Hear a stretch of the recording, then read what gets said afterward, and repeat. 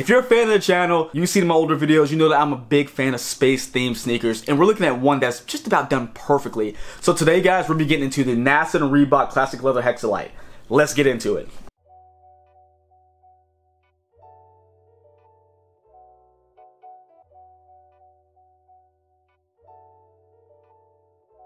What's going on everybody? It's Mike from the Sneaker History Podcast and we are back with another video. Guys, thank you so much for joining. If you hadn't done so already or if you're new to the channel, hit that subscribe button, leave a like, drop a comment. Those things get the video through the algorithm so of course more people can see it. And for those who've done so already, big thank you to you. And for those who do so in the future, big thank you to you as well. Now, we're talking about space again, guys. If, again, if you've seen the channel, you know I'm a huge fan of space-themed sneakers. From galaxies to aliens to planets, you name it.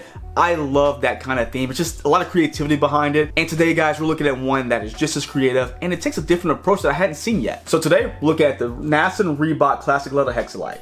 Now, first off, Reebok, always gotta give you guys a big thank you. I appreciate you guys for sending this one my way. This is a super awesome collaboration, super awesome look because it doesn't go the super I think I said super three times now. It didn't go this really crazy way that you typically see, like the bright colors, designs. This takes another direction, and I really like the way they did it.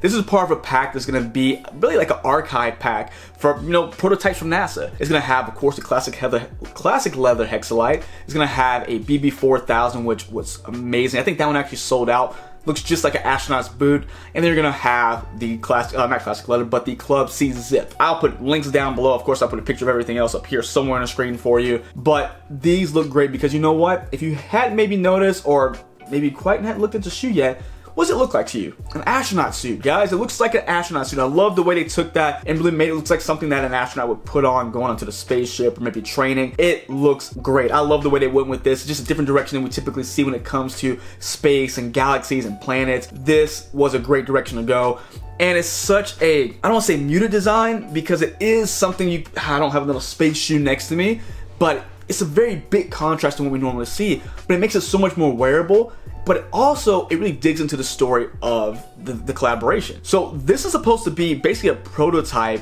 that NASA worked on on Reebok, and I love you're gonna see a lot of different hits here, you got tags here, everything just talks about this prototype that was in our archive that basically Reebok is pulling out to release to the public. Now, we got the shoe here, but I gotta put the shoe down first so I can show you the box.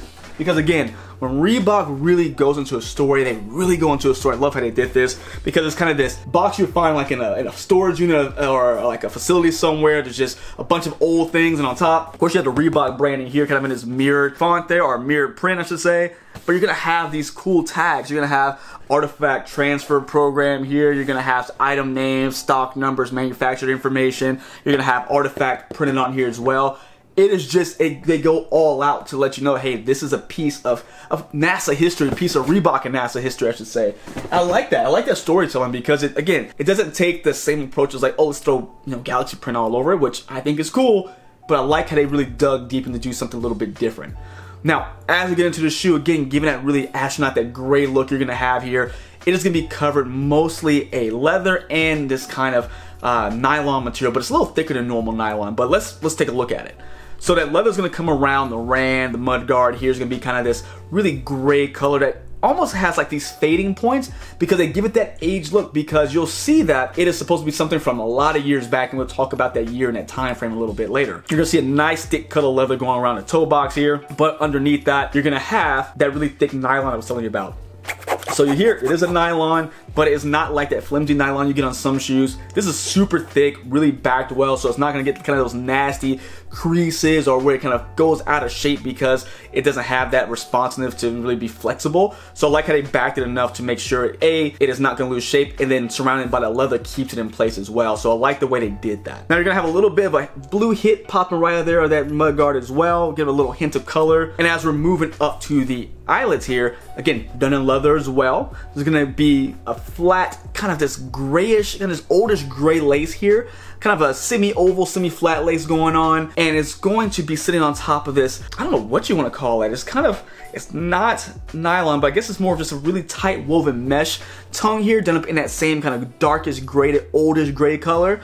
But when we're talking about the sneaker and how it's tagged and how it's really branded, they went all out. Again, keeping that story alive, talking about prototypes, artifacts. So you're gonna see right here on the tongue, you're gonna have prototype CL Hex.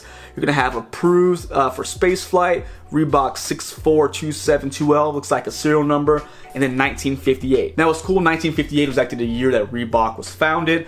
And if you guys didn't know this, that was three years before the first American space flight. So 1961, if they want to keep this story going, this potentially made three years as they're getting prepared for the first space flight which is kind of cool if that was the route they were going if they wanted you to see it that way. Now top, you're gonna have basically an unfinished tag. So it's gonna have this metal ring in it, of course, to pull up uh, to make sure it's not falling when you're putting a shoe on.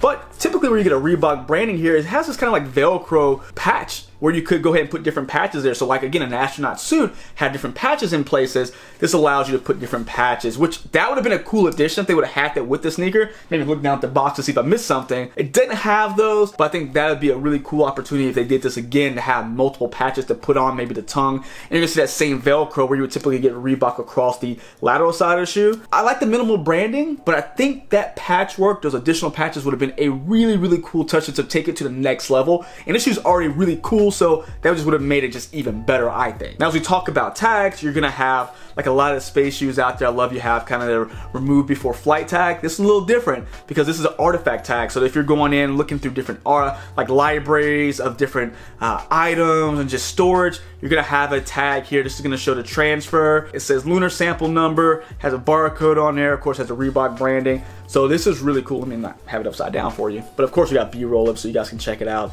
But I, I really like how they have those additional pieces there really cool there. Again, staying with that theme, very consistent with the sneaker. And it was really nice is that going with that minimal branding they went with this shoe, you still have the Vector logo, but it's done up in this clear TPU that's very just, it blends in with the shoe well. Again, not taking away from the space thing because you're not gonna get a heavily branded spacesuit or astronaut suit. So to make sure it's really blended into the sneaker super, super well, done in a way to where it's not popping out too much. So very nice. It's to be covered with the overlay that's still to be that leather we're beginning across the shoe. As we get to the heel cup here, you're to go ahead and get another pop of red, more leather wrapping around the heel, and that's to be attached to the lateral medial side, which is to be another part of that really thick nylon we're getting here. So both on again the lateral and medial side there. Now you see the inside is going to be a very thick textile. I want to say it's just a like a cotton or you know maybe like a fleece interior here. Really nice and thick, really plush. But in the inside, you guys can see that I got a B-roll this as well because these insoles were glued down very well, so I wasn't gonna tear those up. But another artifact tag inside of the left shoe here, so you can get more of that same information we saw on the top of the box inside the shoe as well, which is again really cool. Sticking with that theme, being really consistent. But that's the left shoe.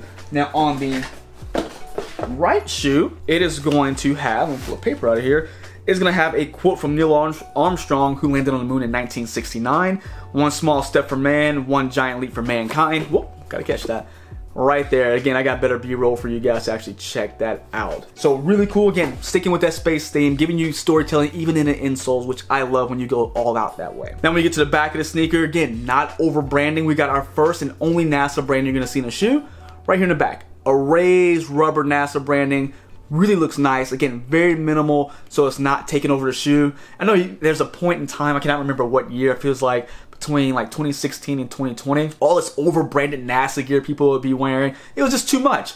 This is the perfect amount. One brand here because again, you're not going to NASA. They're not wearing these super branded items. Give me one hit of what it is and move on. I like it. They did a great job here. Now, as we get down to the midsole, it is gonna be the big difference from this in the classic leather is gonna be, of course, the visible and touchable Hexalite. So I know a lot of times when we look at some of the older retros out there, like the Question, for example, it's always like the not the real Hexalite. I don't know if this is the real Hexalite. Again, I cannot remember, you know, the originals back when I was a kid but this is something that's not in a bubble, it's not enclosed by anything, and it does actually, you can see it does compress whenever you do put pressure on it, so it does provide cushioning. This shoe is actually really comfortable walking, so if anybody wondered, yes, it is a comfortable sneaker for just everyday wear. You definitely should try it out. But again, we're going with this age midsole here, again, giving you this view, or giving you this idea this sneaker has been around since 1958, with another serial number going across the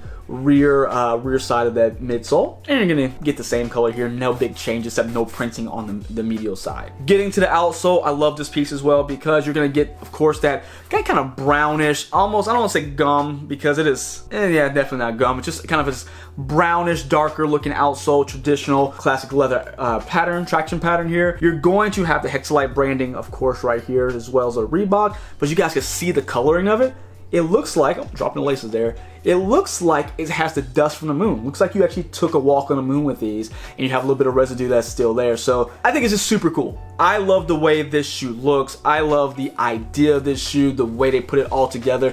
It is just a fantastic whole product. Again, it's just about perfect. The only thing I would say change, add patches so you can go ahead and put them on the shoe as well. But other than that, I think this shoe is a, a 9.7 out of 10. This is amazing. I don't know what came with that arbitrary grading system there. I've never done it before, but I'm just really, really like this sneaker.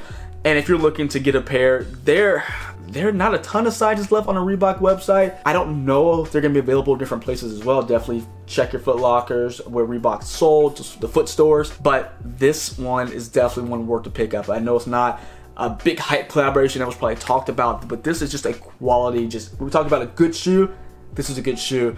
And I would say go true to size, fits perfect for me. I wear a size 10, but again, I don't have a wide foot. So definitely try it on if you can. If you're a wide footer, may have to go half size up. Just gotta know it gets a little slender right here in the, toe box and get into the top of the foot.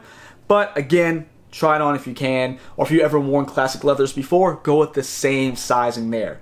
But let me know what you guys think. Do you like it? Do you not like it? I'm a huge fan, but leave me a note down in the comments. Until next time, guys, see ya.